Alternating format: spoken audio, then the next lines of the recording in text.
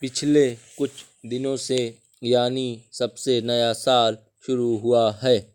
हालिया विधानसभा चुनावों में कमज़ोर पड़ी।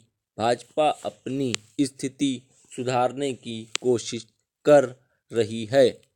इसने कड़वी राजनीति को भी आगे बढ़ाया है, जिसे हम आगामी लोकसभा चुनाव में देखेंगे। जो अप्रैल मई में होने वाले हैं।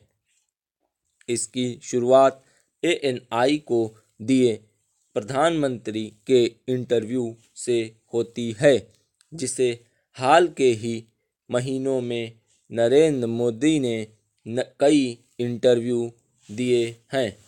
इस उस पंचानवे मिनट के इंटरव्यू में जो सबसे चौंकाने वाली बात थी वह यह कि प्रधानमंत्री जो आम तौर पर आक्रामक रहते हैं और जिनसे विरोधियों की बखिया उधेड़ने और आगामी चुनाव को देखते हुए एजेंडा सेट करने की उम्मीद थी, उन्होंने अपना यथोचित पक्ष दिखाने की कोशिश करके एक अलग रणनीति अपनाई।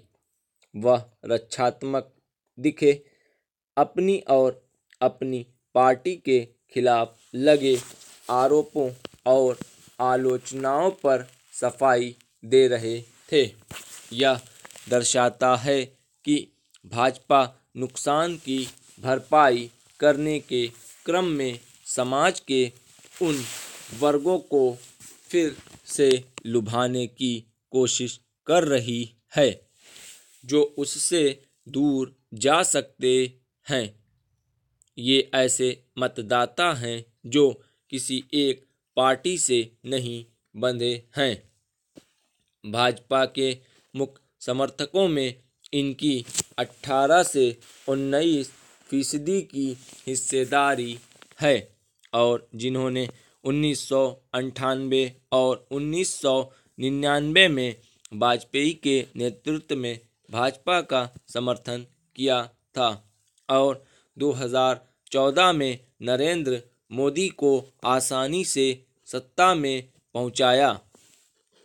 उदाहरण के लिए, मोदी द्वारा भीड़ की हिंसा की आलोचना उन लोगों को आश्वस्त करने के लिए थी जिन्हों, जिन्हें हिंसा और हत्या की पीड़ा झेलनी पड़ी है और जो सामुदायिक संघर्ष को अपने जीवन का हिस्सा नहीं बनाना चाहते।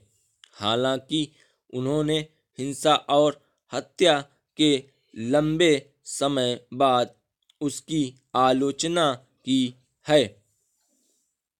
दिलचस्प बात यह है कि उन्होंने एक खास बात कही कि उनकी सरकार ने जो भी किया है, वह सब मध्य वर्ग के लिए किया है। मध्य वर्ग मोदी का सबसे पक्का समर्थक रहा है, लेकिन बाद में एस सी एस टी अत्याचार अधिनियम, नोटबंदी और जीएसटी जैसे मुद्दों को लेकर मध्य वर्ग से असंतोष के संकेत मिले हैं। उन्होंने मंदिर निर्माण को लेकर बढ़ाए जा रहे दबाव पर कटाक्ष करते हुए कहा कि सरकार अदालत के फैसले का इंतज़ार करेगी, क्योंकि किसी भी सरकार को संविधान के प्रति निष्ठा रखने की ज़रूरत होती है।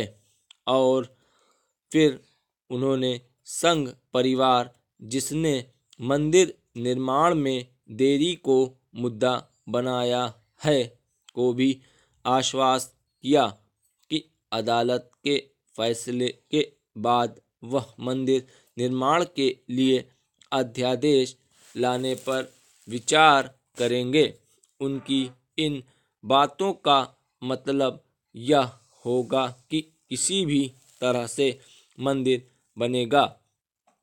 यदि अदालत अयोध्या में मंदिर निर्माण की इच्छा जताती है तो मामला वहीं पर ख़त्म हो जाएगा। लेकिन अगर उसने इसके खिलाफ फैसला दिया तो फिर सरकार न्यायालय के दृष्टिकोण की परवाह किए बिना मंदिर निर्माण के लिए विधायी रास्ता अपनाने पर विचार करेगी।